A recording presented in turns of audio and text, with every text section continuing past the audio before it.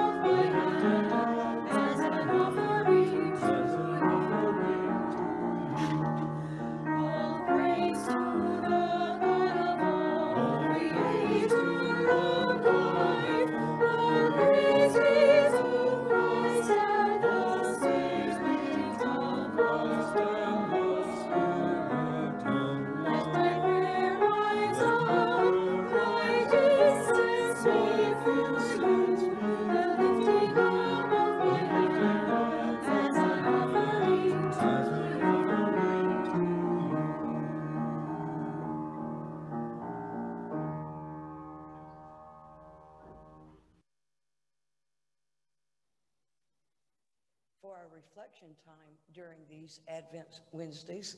Um, each week, there will be a reading from the previous Sunday's set of lessons. There will be a set of three reflection questions. The first one will always be the same. What words, phrases, images spoke to you as you were hearing the scripture read? The next two questions will change a little bit as we go through the four weeks, and I will share those with you. So, our pattern will be that I will read the scripture text, I will share with you the three questions, and then ask you to pause and reflect on the three questions. Uh, you may want to get a journal and take some notes uh, on, on these reflection times. You may want to close your eyes and um, do a little bit of guided imagery as we go. Uh, but that will be our pattern um, for these this reflection time. May our prayers come before you of God as incense, and may your presence surround and fill us so that in union with all creation, we might sing your praise and your love in our lives. Amen. The scripture reading for this first Wednesday in Advent comes to us from the Gospel of Mark. Be aware, keep alert, for you do not know when the time will come.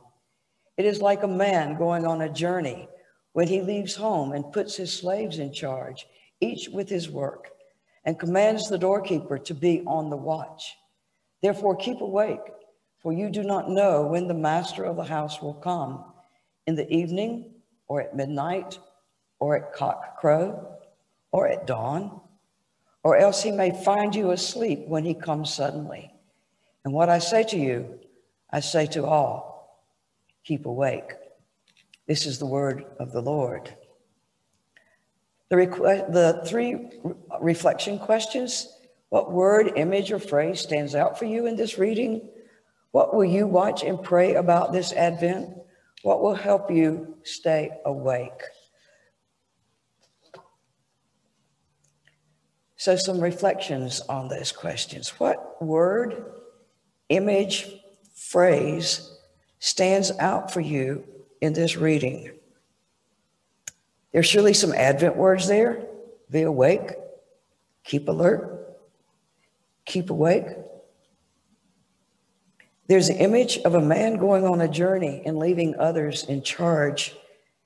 Maybe that's Jesus having ascended into heaven uh, and having left us with some work to do um, until he comes again.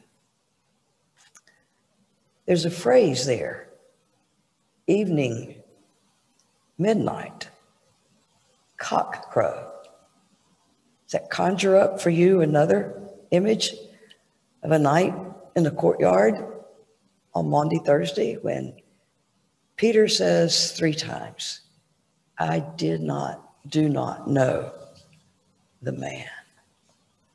Listen again to the reading. Be aware, keep alert, for you do not know when the time will come. It is like a man going on a journey when he leaves home and puts his slaves in charge, each with his work, and commands the doorkeeper to be on the watch. Therefore, keep awake, for you do not know when the master of the house will come in the evening, or at midnight, or at cockcrow, or at dawn, or else he may find you asleep when he comes suddenly. And what I say to you, I say to all keep awake. The light shines in the darkness, and the darkness has not overcome it.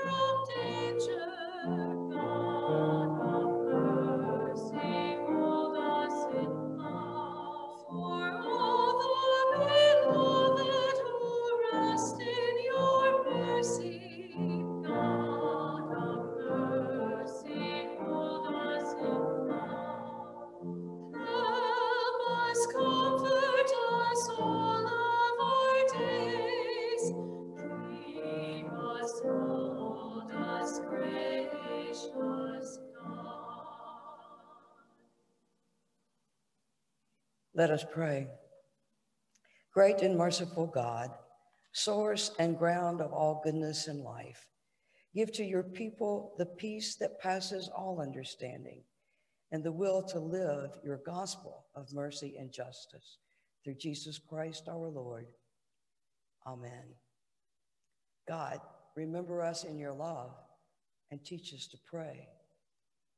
Our Father in heaven, hallowed be your name. Your kingdom come. Your will be done on earth as in heaven. Give us today our daily bread. Forgive us our sins as we forgive those who sin against us. Save us from the time of trial. Deliver us from evil. For the kingdom, the power, and the glory are yours, now and forever. Amen.